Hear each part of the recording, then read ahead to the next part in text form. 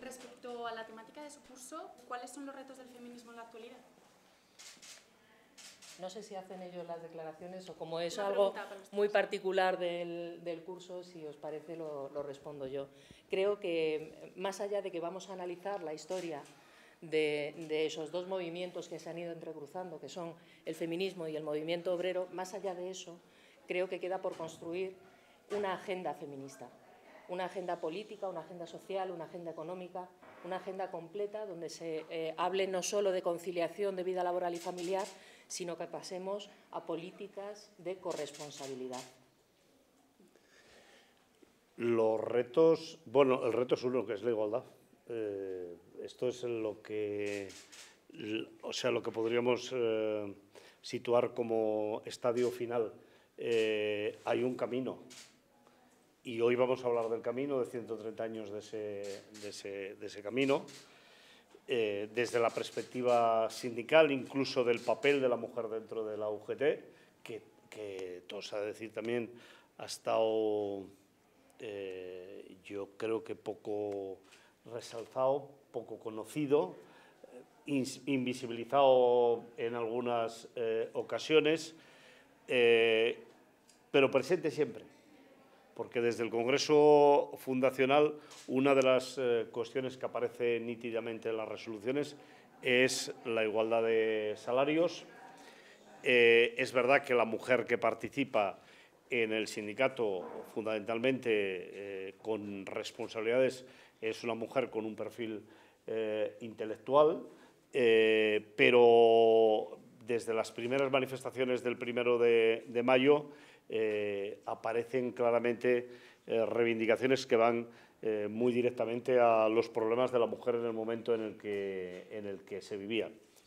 Lo de entonces no tiene nada que ver con lo de ahora, porque hoy a nadie se le ocurre plantear como una reivindicación de la mujer la conciliación de la vida eh, familiar, lo que ellos decían, los trabajos en el, en el, hogar, que estaban así especificados, hoy eso está afortunadamente superado eh, por la historia. En todo caso, hoy sería el compartir eh, las responsabilidades en el trabajo, en la sociedad, en, en, en casa. Pero esa es un poco la historia, ¿no? Y la hoja de ruta que tenemos por delante pues yo pensaba que era una hoja de ruta que no iba a tener eh, altos y, bajos. Eh, me temo que desgraciadamente el siglo XXI, eh, estos primeros años, han estado llenos de esperanza, de ilusión, de avance, de concienciación, pero ahora estamos entrando en una etapa en la que algunas de estas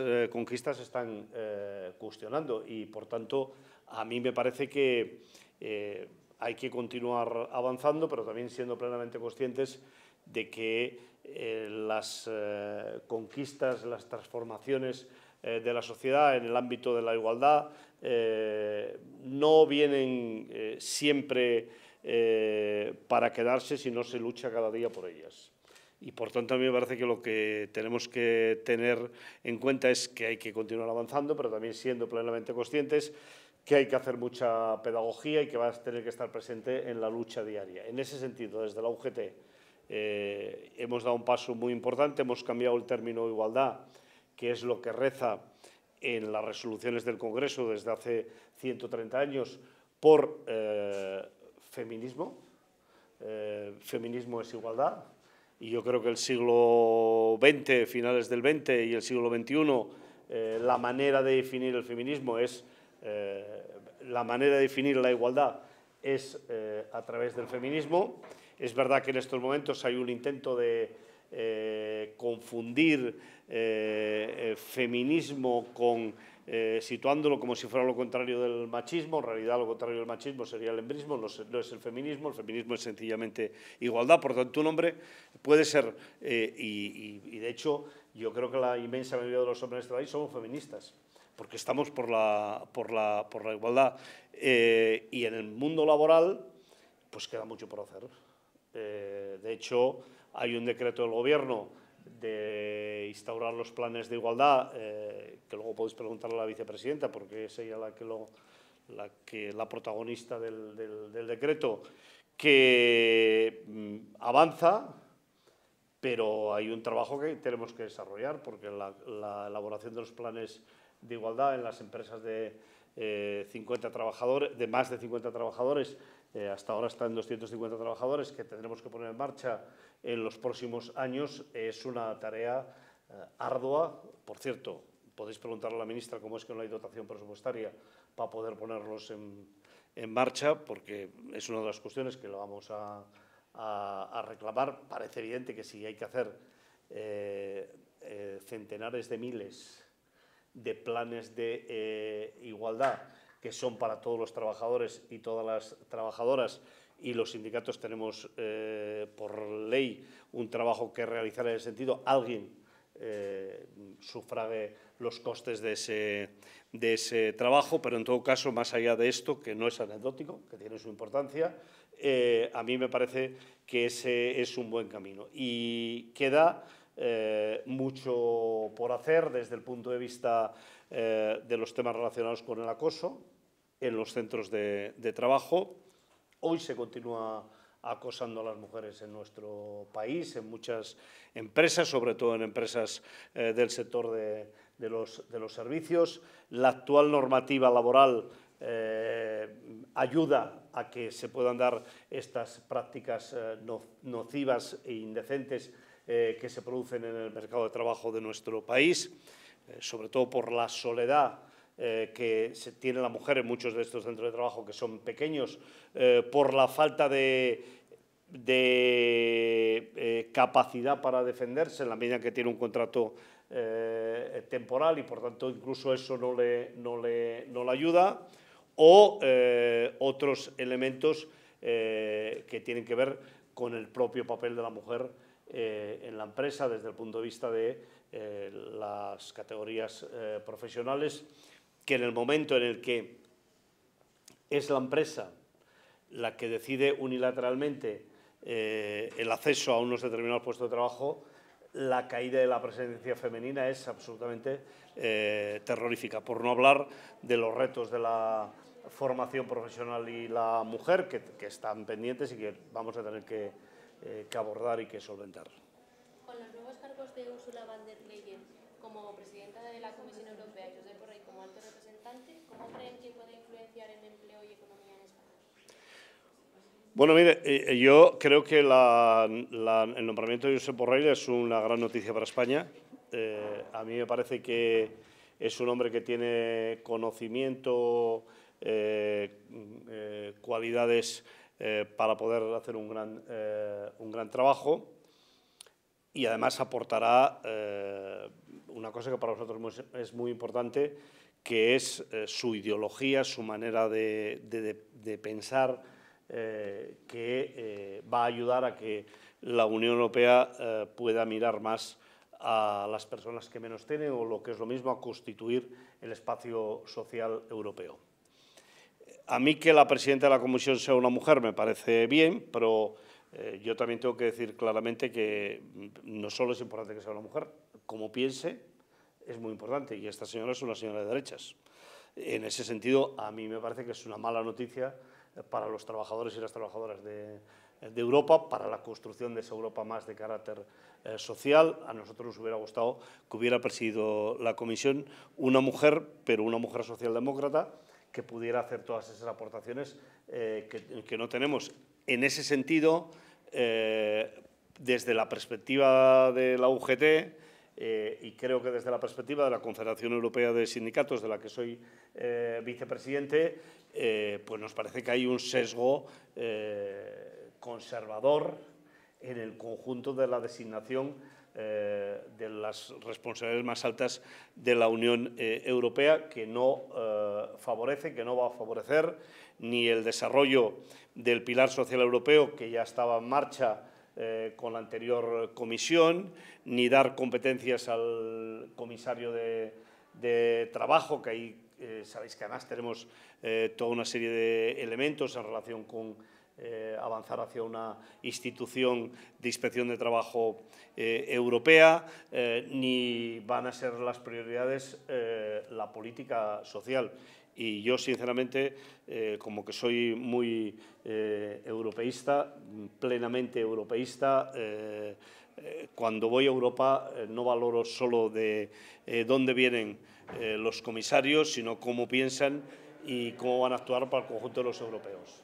Señor Álvarez, hoy la, actualidad manda, están las conversaciones para formar gobierno, ayer se puso encima sobre la mesa de nuevo los trabajadores, entonces eh, yo quería preguntarle cómo ha visto la propuesta que realizó ayer Unidas Podemos, la respuesta que se ha dado hoy desde el, desde el gobierno, diciendo que hay que centrar el debate en hablar de política, en hablar de, medidas concretas, ¿cómo están siguiendo ustedes desde el sindicato? No, no, sé cuál es la propuesta que lanzó ayer Unidas Podemos. Unidas Podemos eh, dijo a Pedro Sánchez que intentase hacer un gobierno de coalición y que entonces si el Parlamento rechazaba ese gobierno de coalición, que más adelante se intentase otra investidura con otras fórmulas de colaboración. Bueno, la, táctica política de los partidos eh, yo creo que hay que respetarla, eh, pero tampoco un sindicato tiene que entrar a ver eh, si esta es la que más interesa, si es la que menos interesa. En todo caso, yo quiero decir, eh, en primer lugar, que el PSOE y Unidas Podemos, Unidas Podemos y el PSOE, y el resto de grupos parlamentarios de izquierda, tienen una responsabilidad con los ciudadanos y las ciudadanas de este país que tienen que cumplir. Nadie va a entender eh, que después de la campaña de elecciones que hemos vivido hace unos meses, del esfuerzo que seguro que han hecho muchos electores de ir a votar, y de ir a votar en un sentido eh, determinado para frenar la agrupación de las tres eh, derechas, ahora eh, no sean capaces de llegar a un acuerdo de gobierno. En segundo lugar, nosotros nos importa más qué va a hacer el gobierno que quién lo componga. Y en ese sentido a mí me parece que es fundamental eh, conocer cuál es el programa de gobierno que está planteando Unidas Podemos y que está planteando el PSOE. Eh, nosotros estamos eh, solicitando tanto Unidas Podemos como al PSOE, hemos estado reunidos con los dos, que queremos un programa que responda a lo que han votado los ciudadanos de este país, que es que, que es derogar las reformas laborales, que es unos presupuestos expansivos eh, con un aumento de la presión fiscal que nos acerque a, la Unión eh, Europea y en ese camino es en el camino en el que vamos a continuar eh, trabajando, en el que vamos a estar. Pues te están, te están siguiendo. Bueno, bueno. Más o menos, un poquito que hablará sobre diversidad, pero también ya de, de ¿Qué tal? Bien. Qué guapo te veo. Joder. Es una corbata.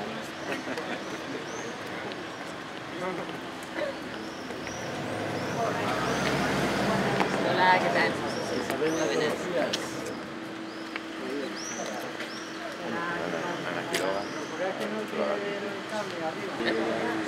Creo que no, porque además ha pedido muy expresamente. ¿Ya te encontramos, queréis? ¿O sí, porque hasta nos, sí, sí. nos avisaron? Al rector. O sea, me han hecho una cobra, pero de libro, ¿eh? no le había visto de hace mucho. Estás pesada, gracias. Estoy pesada, vale, vale. Un... Por un beso tuyo, mira, mira... De mucha calma que... La ¿Cómo estás? Aquí, por favor, enhorabuena. Gracias. Aquí aterrizando estamos. ¿Cómo estás? Hola, Entremos ahora a un canotazo y nos van a interrumpir en cuanto llegue la vicepresidenta, si no te parece mal. No, no, no.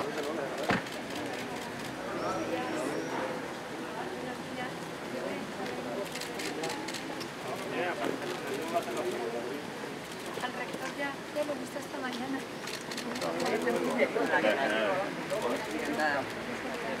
¿Qué tal? Muy bien. ¿Bien? ¿Qué tal? Bien. A repetir que, que, salido No se puede permitir. Pues creo que no.